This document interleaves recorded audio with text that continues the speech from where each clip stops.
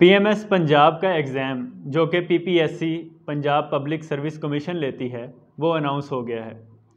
ये बताया गया है कि जून या जुलाई के मंथ में पीएमएस का एग्ज़ाम लिया जाएगा, और इसके अंदर बहुत सारे लोगों ने अप्लाई भी किया है, और क्योंकि अभी एक फ़िक्स डेट नहीं आई, लेकिन पीएमएस के अंदर यूँ होता है कि आपको कुछ दिन पहले डेट शीट दी जाती है, और उससे पता चलता है कि आपका एग्ज़ाम किस डेट को होगा।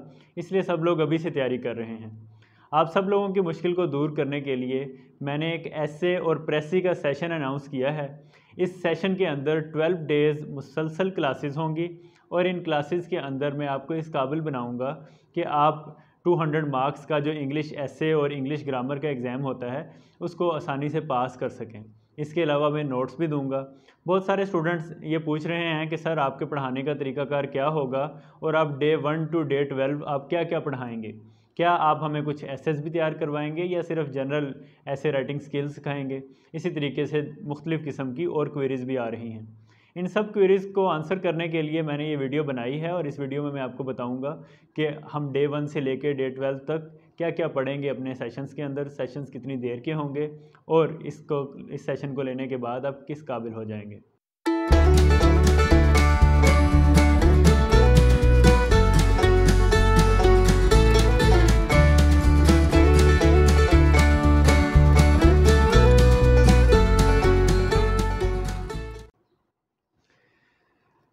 ये क्योंकि ट्वेल्व डे का सेशन है और इसमें दो पार्ट्स हैं। पहला पार्ट इंग्लिश एसे का होगा।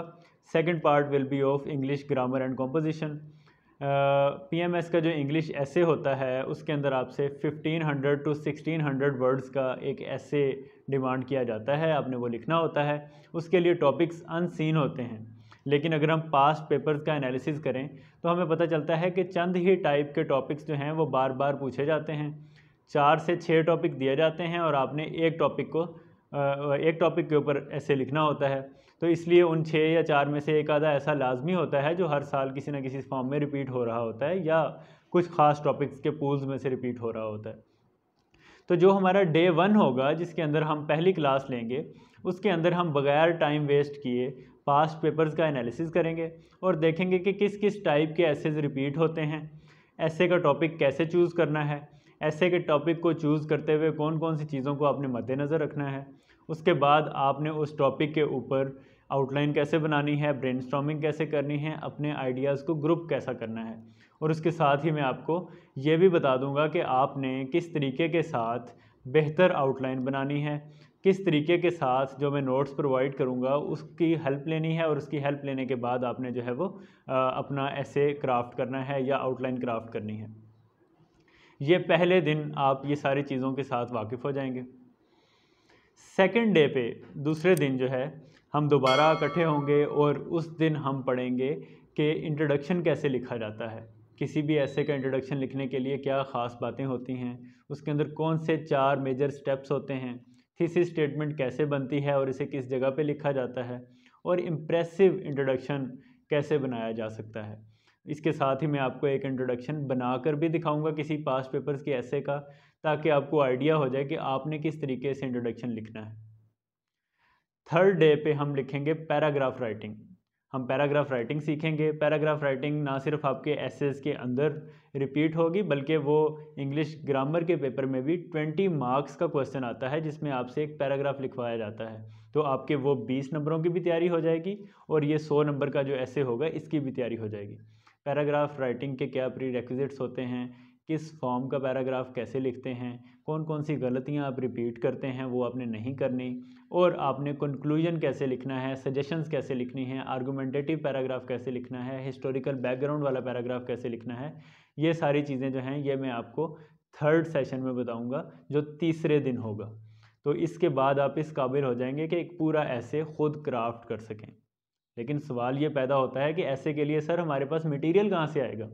तो अगले तीन दिन हम इन मटेरियल को देखेंगे कौन कौन से पास्ट पेपर्स में टॉपिक्स रिपीट होते हैं, उनका डेटा आप कहाँ से ले सकते हैं? उसके अलावा मैं भी आपको कुछ डेटा दूँगा, आपको कोटेशंस दूँगा अच्छी अच्छी उन टॉपिक्स से रिलेटेड अच्छी अच्छी वोकेबलरी के वर्ड्स कौन से यूज़ किए जा सकते हैं? बेसिकली पास्ट पेपर्स में अगर उस तरह का कोई क्वेश्चन आया है तो उसको किस तरीके से आपने देखना है, किस तरीके से अटैम्प्ट करना है? तो डे फोर डे फाइव और डे सिक्स इस पे हम मोस्ट रिपीटिंग थीम्स देखेंगे। हम गुड गवर्नेंस देखेंगे हम इकोनॉमी देखेंगे हम सी पैक देखेंगे और इस तरह के मुख्तलिफ़ जो थीम्स हैं जिससे रिलेटेड ऐसेज आपके पास आते हैं हम वो देखेंगे। सिक्स डेज़ गुजर जाएँगे और आपका जो है वो ऐसे राइटिंग का मॉड्यूल भी तैयार हो जाएगा। इसके अलावा ट्वेंटी मार्क्स का इंग्लिश ग्रामर एंड कॉम्पोजिशन का वो वाला पोर्शन जिसमें आपसे एक टॉपिक के ऊपर टू हंड्रेड वर्ड्स का पैरा लिखना है, वो भी तैयार हो जाएगा। सिक्स डेज़ के बाद आप एग्ज़ाम में वन ट्वेंटी मार्क्स की तैयारी जो है, वो कर चुके होंगे। ज़ाहिर है सिक्स डेज़ के अंदर मैं तो आपको अच्छी तरीके से पढ़ाऊँगा, लेकिन मैं ये भी एक्सपेक्ट करूँगा कि आप उस चीज़ों को, उन चीज़ों को अच्छे तरीके से जाकर रिवाइज़ करें, उसके ऊपर क्वेश्चंस जनरेट करें और फिर अगले दिन मुझसे क्वेश्चंस पूछें। क्वेश्चंस के लिए जो है, मैं आपके, आपको गूगल क्लासरूम के ऊपर या किसी और फोरम के ऊपर हर वक्त हाजिर रहूँगा। आप जो भी क्वेश्चन पूछेंगे within twenty four hours उसका आंसर मैं दे दूँगा। इस छः दिन के ऐसे राइटिंग के सेशन के बाद हम प्रेसी स्टार्ट करेंगे। प्रेसी के बाद कुछ दिन हम ब्रेक लेंगे और फिर एक डेट दूँगा जिसके ऊपर आपसे ऐसे लिखवाया जाएगा या आपको ऐसे राइटिंग के लिए एक टॉपिक दिया जाएगा। आप लोग जो है वो उस पर असाइनमेंट सबमिट सबमिट करवाएँगे और वो मैं चेक करके आपको बताऊँगा कि आपकी क्या क्या गलतियाँ हैं और आपने अपने पेपर में किस तरीके से इन गलतियों से बचना है। तो ऐसे राइटिंग सिर्फ़ टीचिंग ही नहीं होगी, बल्कि उसमें एक ऐसे की एवेल्यूशन भी होगी और वो ऐसे जो है वो आप मुख्तलिफ़ ऐसे का पूल तैयार करेंगे और फिर मुझे एक ऐसे करके देंगे। लेकिन ये होगा हमारे ट्वेल्व डे सेशंस के बाद। अभी हम वापस आते हैं अपने सेवन्थ डे पे, जिस दिन हमारा इंग्लिश ग्रामर एंड कॉम्पोजिशन का सेशन स्टार्ट हो रहा होगा। इंग्लिश ग्रामर एंड कॉम्पोजिशन में एक सवाल तो हमने पहले ही तैयार कर लिया पैराग्राफ राइटिंग का। दूसरा क्वेश्चन प्रेसी राइटिंग का होगा, एक बड़े पैराग्राफ को वन थर्ड कैसे करते हैं? तो ये वाला क्वेश्चन कैसे अटैम्प्ट करना है? कौन से इजी तरीके हैं जिससे आप अच्छी प्रेसी कर सकते हैं? और प्रेसी राइटिंग इम्पोर्टेंट ही क्यों है? ये हम देखेंगे सेवन्थ डे पे। इसके बाद आप जो है ट्वेंटी मार्क्स की मज़ीद तैयारी कर चुके होंगे और आपके टोटल वन फोर्टी मार्क्स तैयार हो चुके होंगे।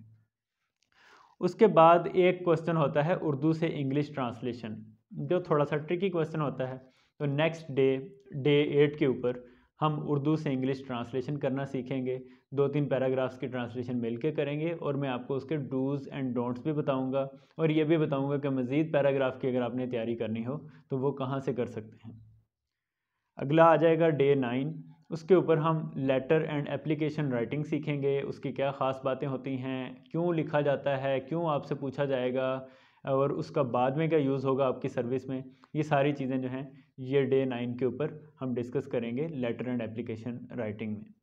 अब अगले डे टेन डे इलेवन और डे ट्वेल्व हमारे पास बच गए और हमारे पास आ जाता है सेंटेंस करेक्शन का पार्ट सेंटेंस करेक्शन आता तो पाँच दस नंबरों का ही है, लेकिन अगर आपको वो सवाल आता होगा तो आप ऐसे में भी गलती नहीं करेंगे प्रेसी में भी गलती नहीं करेंगे ट्रांसलेशन में भी गलती नहीं करेंगे आप अपने जो है वो पैराग्राफ राइटिंग में भी गलती नहीं करेंगे, ठीक है? तो ये जो सेंटेंस करेक्शन का पार्ट है, इसको हम दो दिन देंगे, क्योंकि ये एक इम्पोर्टेंट पार्ट होगा। तो डे टेन और डे इलेवन पे हम सेंटेंस करेक्शन देखेंगे। डे ट्वेल्व पे हम आपके मिसलिनियस इश्यूज़ के बारे में बात करेंगे क्वेश्चन आंसर सेशन होगा, और उसके अलावा एडियम्स और वोकेबलरी और इस तरह की जो दूसरी चीज़ें हैं, जो रट्टा लगा कर याद करने वाली हैं, उसके मैं आपको नोट्स प्रोवाइड करूँगा। ताकि आप एग्ज़ाम्स तक उसमें से मैक्सिमम पार्ट कवर कर लें और आप अपने एग्ज़ाम्स के अंदर कॉन्फिडेंस के साथ बैठें और इस तरह से बैठें कि आपको परेशानी ना हो एग्ज़ाम देते हुए, को पेपर सॉल्व करते हुए या ऐसे लिखते हुए। तो ये ट्वेल्व डेज़ का सेशन होगा। उसके बाद जब ऐसे राइटिंग होगी तो उसको, उसकी भी चेकिंग ज़ाहिर है कि आप, मैं करूँगा और वो चेकिंग करके आपको जो है कमेंट्स दूँगा। तो डिटेल के साथ सिर्फ़ ट्वेल्व डेज़ ही नहीं, बल्कि उसके बाद तक ये चीज़ चलती रहेगी। फिर एग्ज़ाम्स तक आप उस फोरम के ऊपर जो हम रखेंगे गूगल क्लासरूम या एनी अदर फोरम आप कोई भी क्वेश्चन मुझसे पूछ सकेंगे। इसके अलावा ये है कि इस सेशन के अंदर आप अगर अच्छे तरीके से पढ़ लेते हैं तो सी एस एस का ऐसे लिखना भी आपके लिए कोई इशू नहीं रहेगा, क्योंकि सी एस एस के अंदर आपने लिखना होता है ट्वेंटी फाइव हंड्रेड वर्ड्स का ऐसे, लेकिन होते टॉपिक्स इसी टाइप के ही हैं।